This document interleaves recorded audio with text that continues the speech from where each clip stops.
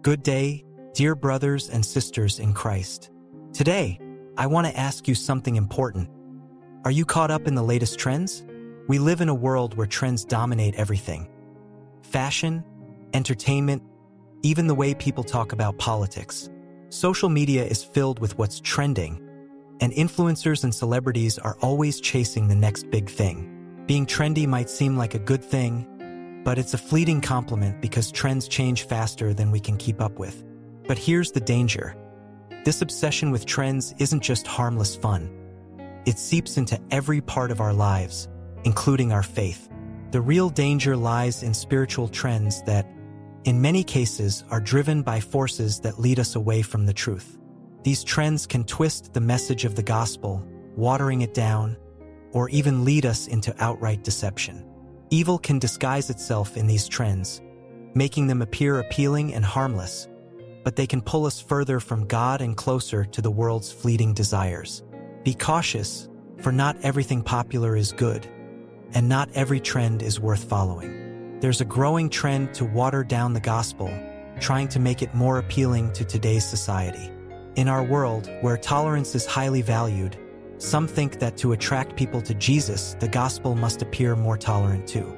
As modern culture becomes more skeptical and dismissive of religion, especially Christianity, many are tempted to alter the gospel rather than let its true power transform hearts and minds. With the increasing hostility towards scripture and faith, some within the broader Christian community have attempted to soften the Bible's message, reinterpreting or even retranslating it to fit a more modern, tolerant perspective. This approach risks losing the gospel's true essence in an effort to make it more acceptable. On the surface, efforts to engage people in faith through modern means might seem successful. They often spark conversations and draw interest from those who had little or no interest in Christianity before. But is this true success? Take, for example, the trend of sharing Bible stories on social media in a style that appeals to younger audiences. These channels have gained significant popularity, attracting countless followers and millions of views. The stories, told in casual and modern slang, have been both criticized and praised. Supporters argue that this approach reaches people who might never pick up a traditional Bible. It seems like a positive outcome, right? However, the real issue is deeper. If we change the Bible to make it more appealing, are we truly leading people to the Bible or just to a version of it that fits their preferences?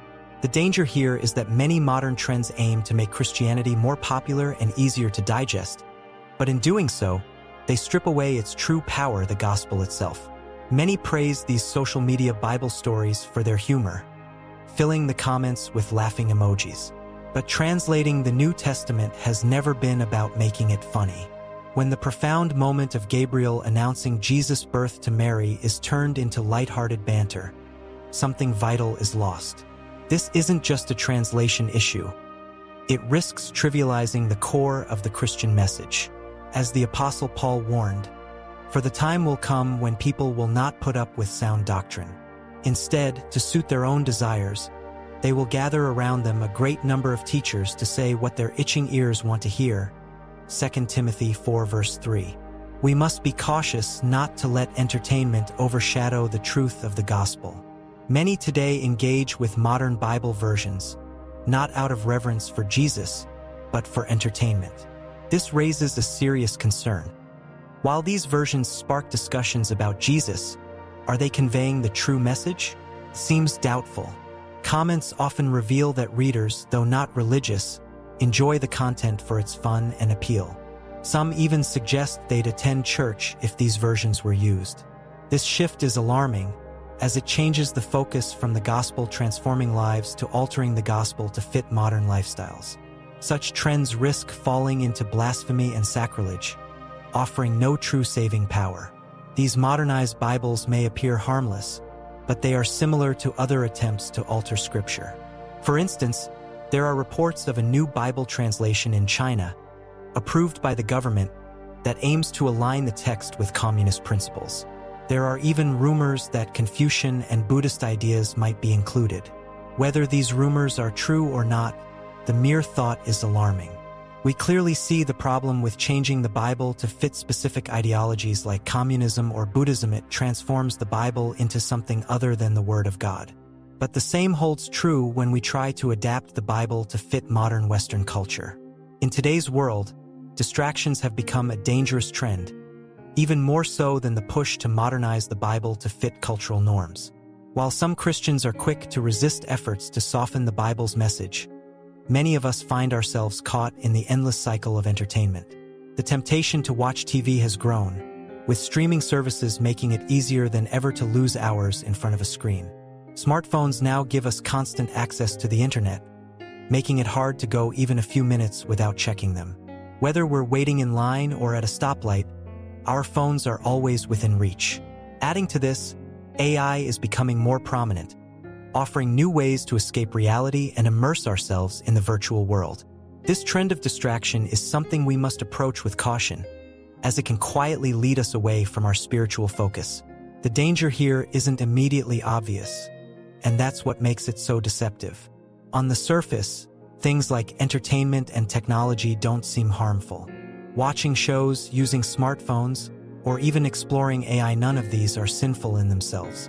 We aren't called to burn our devices like the magic books in Ephesus. But the real threat lies in the distraction these things bring. Studies show that people around the world spend nearly seven hours a day staring at screens. That's a staggering amount of time and even if it's all spent on harmless activities, it can lead us away from God. When we let ourselves be consumed by constant entertainment, we give evil an open door. The more time we spend distracted, the less time we have for God's word, prayer, and serving others. These distractions weaken our focus on the spiritual battles we face daily. Christians must be vigilant and recognize that these trends in distraction and entertainment are tools the enemy uses to pull us away from our true purpose. Be cautious of the trend of affirmation culture. Though self-care and positive self-image might seem beneficial, they carry a hidden danger. This trend shifts our focus from the Creator to the creation, glorifying ourselves instead of God. The phrase, you are enough, may sound encouraging, but it stands against the truth of the gospel. Without Jesus, we are far from enough. Left to our own weaknesses and sinful tendencies, we remain separated from God, vulnerable to evil. This dangerous focusing on self over God is not new. It traces back to the Garden of Eden, where Satan, the deceiver, first twisted the truth. He led Eve to believe that God's provision was insufficient, convincing her that she could be like God. She gazed upon the forbidden fruit, drawn by its allure, and chose to disobey God. Eve turned her eyes from the Creator to the creation, giving in to her desires and ignoring God's command. This act of rebellion was the beginning of mankind's fall into sin, and Satan continues to use this evil tactic today. He whispers lies that glorify the self, luring us into the same trap of pride and rebellion against God. As we look around, the danger of self-exaltation is clear. We see it when church leaders fall into disgrace, trading their sacred duty for worldly desires, leading others astray by placing trust in men instead of God. But this warning is for all of us. When we choose fleeting pleasures over holiness or seek satisfaction over sanctification, we fall into the same trap. These are Satan's subtle deceptions, leading us away from righteousness. We must remain vigilant, resisting the urge to elevate ourselves above our Creator. Let us turn fully to God, for in Him alone is true strength and salvation.